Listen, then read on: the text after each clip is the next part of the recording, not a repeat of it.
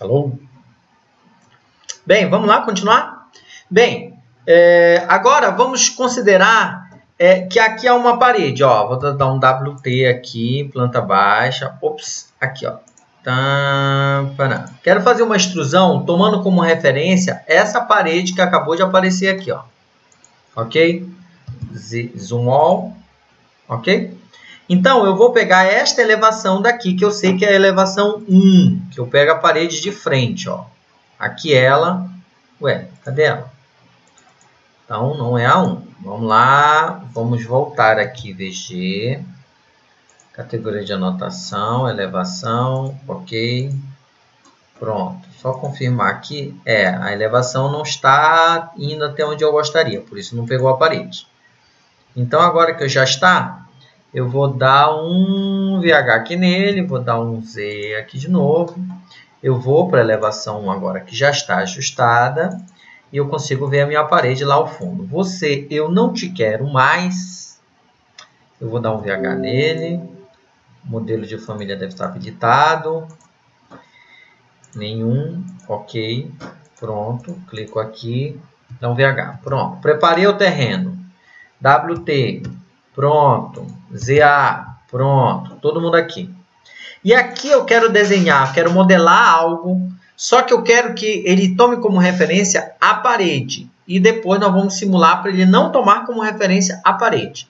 Também extrusão. Então, modelagem, modelagem no local, mobiliário. Você abre aqui embaixo, ó, que facilita a vida, tá ok? Mobiliário 2 é um novo mobiliário eu que estou na elevação, tem, devo começar na vista que eu vou modelar. Tá legal?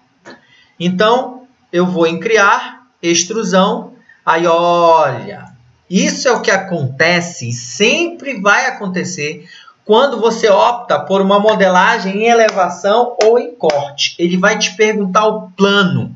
Irmãozinho do coração, presta atenção. Quando ele pede o plano, você tem a opção A, selecionar o plano. O que seria isso? Você clica aqui, ó. Ó, tá vendo aqui o plano? Viu que realçou a borda ao redor da parede, definindo que aquilo é o plano que você vai trabalhar. Então, pronto, dou OK. Tá? Aí eu venho aqui, ó. É, extrusão, não, eu vou fazer uma bancadazinha aqui, ó. Tchan. Pronto, 10 centímetros, a ultra, ultra, upper bancada. Que mensagem é aquela que ele deu ali? Tá? Pronto. Fechei, começa no zero, vai até o 160. Não. 20 centímetros. Não, 30. Pronto. Eu vou aproximar aqui 10 centímetros, está muito. Ponto é, 0,5. Agora está melhor. Pronto. Confirma. Agora, viu que ele fez uma bancadinha aqui, tomando como referência a parede, então a parede foi o zero dele e ele veio para frente com os 30 centímetros aqui, tá? Não é legal isso? Muita gente não sabe isso, poderia modelar uma simples bancada, uma simples prateleira aqui, ó. E eu tenho total controle sobre ela, ó. Ponto, passei para 38. Infelizmente, eu não posso digitar aqui e, e, e... Tum, não, não dá.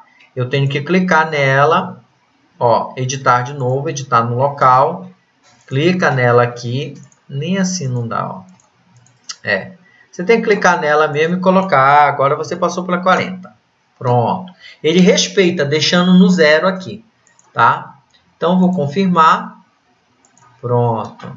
Ok? Então, todas as vezes que você for desenhar, todas as vezes que você for desenhar é, numa elevação ou num corte, uma extrusão principalmente, você tem que levar em consideração que você tem que escolher o plano, tá?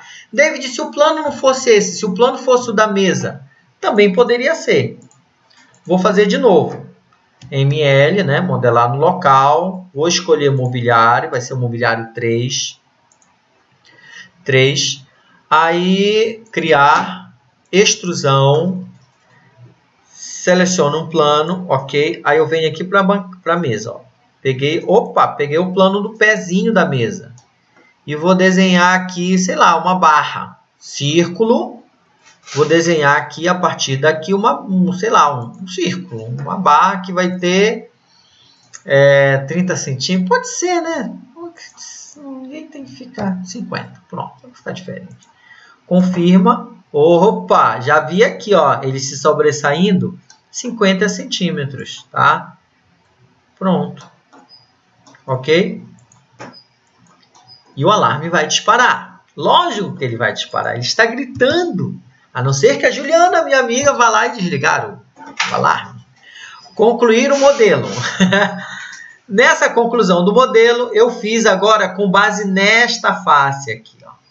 David, nesse caso, é quando você tem uma, uma referência. E se não houvesse essa referência, ora, eu posso pegar esse cidadão aqui, puxar para cá e puxar para cá, também pode. Mas eu poderia criar a minha própria referência. Aí a gente vai falar de plano de referência, aí já é outra coisa, tá bom? Mas isso lá na frente, tudo bem? Então, quando você estiver fazendo uma extrusão em planta baixa, super fácil. Faz a mesinha que você vai pegar de, de boa.